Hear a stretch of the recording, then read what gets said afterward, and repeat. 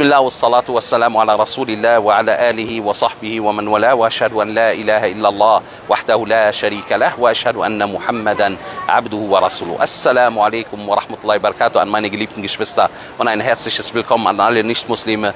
Wer testen möchte, ob er einen wahrhaftigen Glauben hat, ob er einen wahrhaftigen Iman hat, so soll er über folgende Verse nachdenken, die Allah subhanahu wa ta'ala herabgesandt hat, wegen einer Person, sein Name ist Walid ibn Utbah. Vielen Leuten wird dieser Name nichts sagen, aber er war der Vater von Khalid ibn al-Walid. Und Khalid ibn Walid ist bekannt in der islamischen Geschichte. Er ist später zum Islam konvertiert und hat eine großartige Stellung im Islam erreicht. Sein Vater Walid ibn Utbah war einer der angesehensten in Mekka, einer der reichsten in Mekka und einer, der sehr versiert war in der arabischen Dichtkunst. So wollte er eines Tages die Wörter von Rasulullah sallallahu alaihi wasallam hören, um zu beurteilen, ob das Wörter sind, die von Menschen stammen oder nicht. Und als er hereingehört hat, sind diese Wörter direkt in sein Herz hereingeschossen. Als die Mekkaner gesehen haben, die Götzendiener, dass irgendetwas nicht stimmt, so haben sie ihm gesagt, schau mal, du kannst nur Schlechtes über diese Wörter sagen. Das heißt, sie wollten, dass er die Wörter der Offenbarung schmäht, dass er nichts Gutes über die Wörter der Offenbarung sagt. Und so hat er es getan, nachdem er die Wahrheit in seinem Herzen hereinbekommen hat. Und so hat Allah Azza wa Jal die Verse herabgesandt. Innahu fakkara wa qaddar, faqutila kayfa qaddar, thumma qutila kayfa qaddar. Und zwar sagt Allah subhanahu wa ta'ala, er hat nachgedacht und dann abgewogen und dann entschieden. Und dann hat er wieder nachgedacht und abgewogen.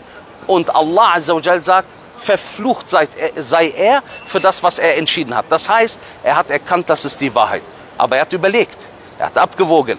Zum einen die Wahrheit anzunehmen, und damit den Islam anzunehmen. Die andere, seine Stellung unter den Götzendiener zu verlieren. Oh subhanallah, er hat sich entschieden für seine Stellung und so hat er gesagt, das sind Wörter der Zauberei. Und so hat Allah subhanahu wa ta'ala ihn als nichts anderes außer als ein Kafir, als einen Ungläubigen sterben lassen. Und ihr solltet wissen, liebe Geschwister, Walid ibn Utbah ist in jedem von uns.